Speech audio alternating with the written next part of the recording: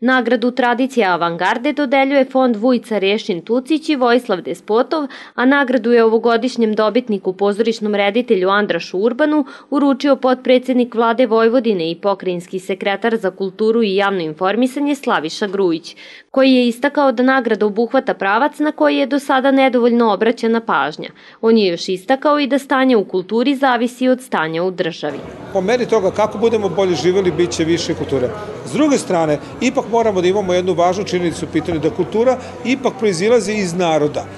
E, kažu, makar tako postoje neke teorije, da jeste, mora se uticati da se kroz raznorazne aktivnosti, već na najmanjem, najnižem nivou, već kod dece, mora se razvijeti osjećaj prema kulturi i postoje čak u nekim zemljama predmet koji se zove kultura u osnovnoj školi, postoji mediji, možda, ali isto tako pitanje koliko mi sami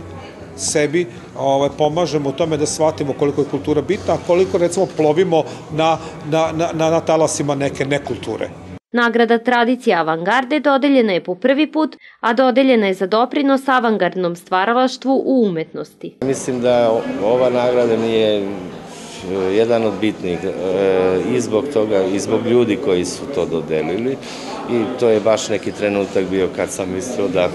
da sam možda čak i bio neki malo frustriran sa svim ovima u, u čemu se sad nalazimo, a, a da je prvi put u stvari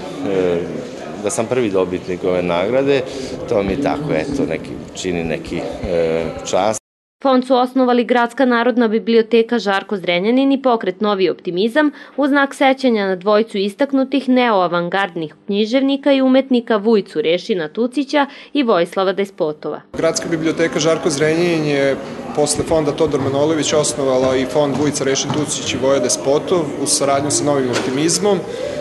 Time smo rehabilitovali praktično tri najveća duha književnosti našeg grada u poslednjem veku i meni je veliko zadovoljstvo da je ovaj događaj inspirisao i organizovanje tribine u koja će govoriti o stanju u kulturi i da je privukao ovako značajni imena kao što ste imali prilike da vidite. Meni je žao što ovakvi događaje kao što su danas nije više. E, mislim da e, postoji i publika i postoje interesovanje i medije i ljudi za tako nešto, no potrebno je ipak i neka podrška. E, podršku kad je imamo, kad je nemamo,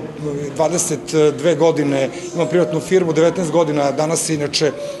godišnjica pozorišnog kluba, što nisam rekao nikome, 19 godina kako smo u pozorišnom klubu kao firma Zeleno zvono i mogu da kažem da, da nam je